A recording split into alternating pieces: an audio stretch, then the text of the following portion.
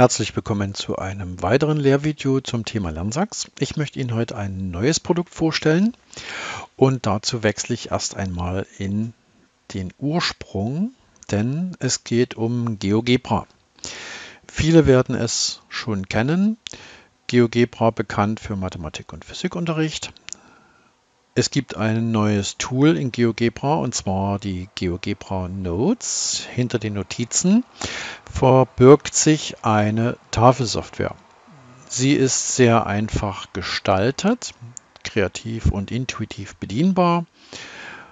Es sind alle Elemente, die man für eine Tafel braucht, vorhanden und es sind natürlich auch die Elemente von GeoGebra selbst involviert. Und das schauen wir uns jetzt in der Landsachs an. Für die Tafelbilder gibt es generell zwei grundlegende Möglichkeiten. Entweder Sie erstellen eine Datei am Anfang der Stunde und zeichnen dann Ihr Tafelbild mit, speichern das im Anschluss und könnten das den Schülerinnen und Schülern zur Verfügung stellen. Oder Sie bereiten ein Tafelbild vor und nutzen es dann in der entsprechenden Stunde. Der Ausgangspunkt sind die Dateien. Und in den Dateien kennen wir es vom OnlyOffice. Das heißt, wir erstellen jetzt eine Datei. Der erste Weg war der Dateityp. Und wenn Sie dieses Kombinationsfeld jetzt öffnen, sehen Sie, es ist ein Dateityp mehr dazugekommen, das Tafelbild GGS. Das ist also genau der Ursprungsdatentyp, den GeoGebra auch in seiner eigenen Plattform benutzt. Ich wähle diesen Datentyp aus, gebe einen Dateinamen und könnte jetzt noch eine Beschreibung hinzufügen, was konkret ich jetzt mache. Das heißt nochmal an dieser Stelle die Möglichkeit, um ein Tafelbild zu erstellen, muss ich eine Datei erstellen oder ich lade sie hoch. In dem Falle erstelle ich jetzt eine Datei. Sie ist erstellt und über den Stift, das kennen Sie schon von OnlyOffice, werde ich jetzt sozusagen das Tool starten. Es empfiehlt sich immer das entsprechende Maximieren und hier können wir dann auch noch selbst den Monitor im Vollbild darstellen. Ja, damit haben wir die Ausgangslage gesichert. Das Bild sehen jetzt die Schülerinnen und Schüler auch über das Board. Und jetzt könnte ich also mit dem Stift schreiben oder ich füge jetzt geometrische Figuren ein oder ich füge jetzt ein entsprechendes Element aus GeoGebra dazu ein. Also zum Beispiel den Grafikrechner, ich blende aus und könnte dann hier oben in das Eingabefeld die erste Funktion eingeben.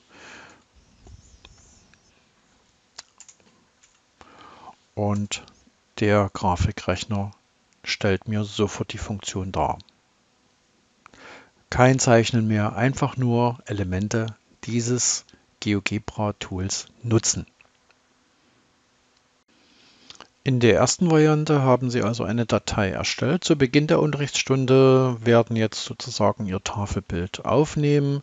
Bitte am Ende der Stunde oder wenn Sie mit der Aufgabe zu Ende sind, das Tafelbild speichern, sonst wären die Daten dann verloren.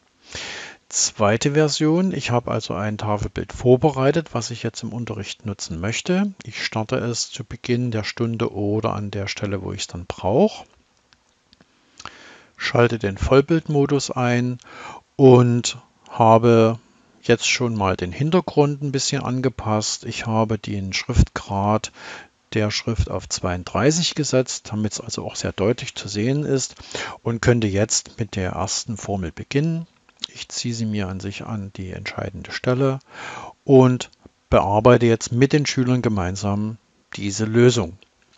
Danach kann ich also den Schülern die Aufgabe für die anderen beiden Formeln geben.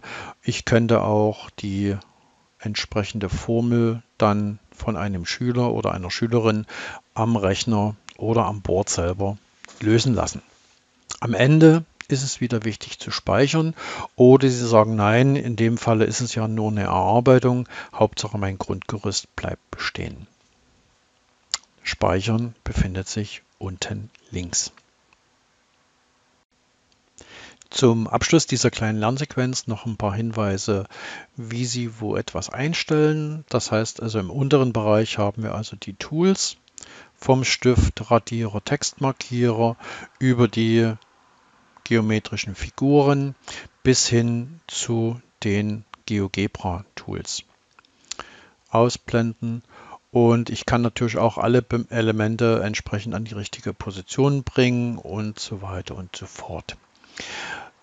Entscheidend ist die Einstellungen, denn hier habe ich einmal die Lineatur, Hintergrundfarbe und weitere Einstellungen. Über Lineatur können Sie also neben den keine Lineatur, liniert, kariert, kariert groß, Grundschullinien.